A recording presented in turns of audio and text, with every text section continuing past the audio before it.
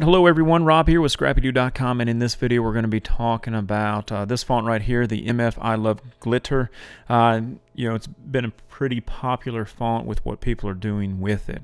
Alright, now there there's some questions with how do you get it to work inside Design Space. I'm going to show you how to do that.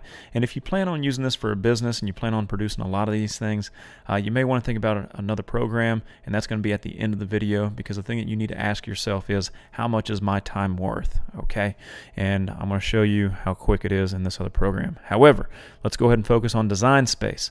So we're going to download this. All right, so there's the download button right there. Okay, now I'm not going to do uh, a video demonstration in this video showing you how to install fonts. We have those videos done already. Check the description box below in case you're wondering about that. Now, we're going to assume that you have downloaded the font, you have installed it, and now you've opened up a fresh copy of uh, Cricut Design Space on the web. All right, so let's go ahead and add the font, or add the text anyway.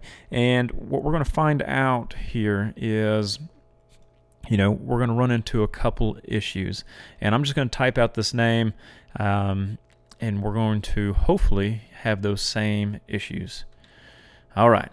So we got uh, Jared on there. Now we need to adjust the font. So with this selected over here under the edit side, I'm going to go ahead and change the font to the MF uh, glitter. And I just type in MF, it automatically populates right there.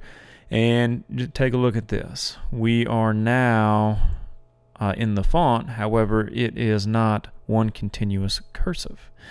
Now you can play with the horizontal spacing to see if it can get you close. Uh, what you'll find out is it gets you close, but then it runs into the other letter. I mean, you can see that right there with the R and the E. Uh, for some reason, Design Space uh, with fonts that are not basically Cricut fonts, uh, you may have to tweak this. So what can we do? Well, you're going to have to right click this on group and now we're looking to move every single individual letter so that it can make one continuous stroke, right? So we got that, there's this, and then we're going to do this. Now, the reason why I picked this is because we may run into an issue once we try to weld. So I selected everything. I chose over here in the layers, and I'm going to go ahead and weld. What we may find out, which we did right here, is that the D disappears. So is there something that we can do in order to fix this?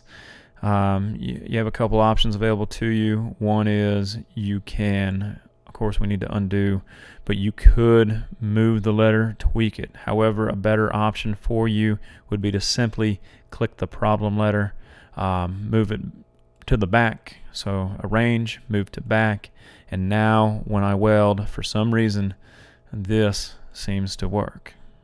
All right. You see, we didn't move anything, but that's what we that's what we end up doing. Uh, one side note here is when you're trying to do those projects that have the little curly Q and the heart and stuff, a good reference to what letter key does that is found right over here. Okay, so there's those swirly hearts. Now, I told you at the beginning, if you plan on doing this for a business, you know, how much is your time worth? Would If you had 12 orders that you had to do today, would you like to move each one of them individually and worry about this? Uh, of course, hopefully your answer would be no. So let's go ahead and take a look at what we can do over here in this program. All right, so there's those, those little swirlies that we're talking about. So with this program, all you have to do is obviously you need to select the font that you're working with. There's the font. Uh, you go ahead and click anywhere. There's our little cursor. You have the choice to either use these keys down here or just type normally.